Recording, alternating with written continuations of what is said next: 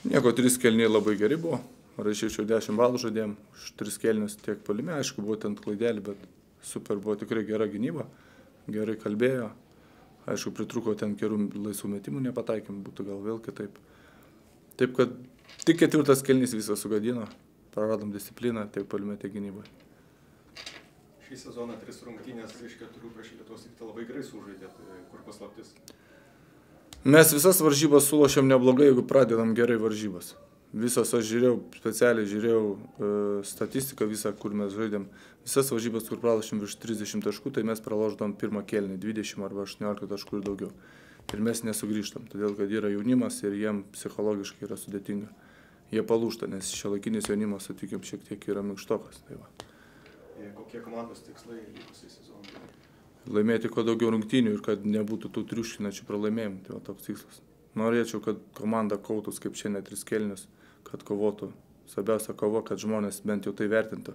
Tu gali lošti prastai, pralaimėti, kad ir 30 taškų, bet kovojant, krentant ant dėl kiekvieno kamulio, tai žmonės už tai paplos, kad vyrai kaunas iki paskutinio kraujo lašo. Tai va to noriu ir linkiu komandai. Treneriui turbūt esminė buvo ta atkarpa tai trečio kelnio pabaigoje ir ketvirto pradžioje buvo 0-12. Kas atsitiko tada? Nu, mes-. Mes nepataikėm ten Liekūnos kelis kartus visiškai laisvas, jie subėgo greitą polimą, paskui Koreniukas ten kavolį, va tokių smulkmenų, paskui lyg ir kovojam, lyg ir mūsų kamuolys, mes savo išmušam kamuolį, pats drau- draugas draugo ir jie, mat šoka kamuolys, gaunam tritaškį.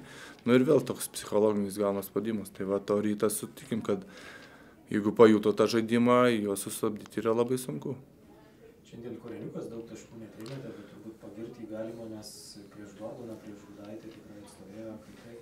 Aš jam gynybai neturiu jokių priekaištų, polime šiek tiek truko jo, bet e, var- varžovas irgi yra gero lygio, taip kad Tada, kai rytas surengė atkarpą 12-0, tai žaidė Lapetą. Kiek turėjo tai įtakos, nes visai kitaip atrodė prieš Koreniuką nei.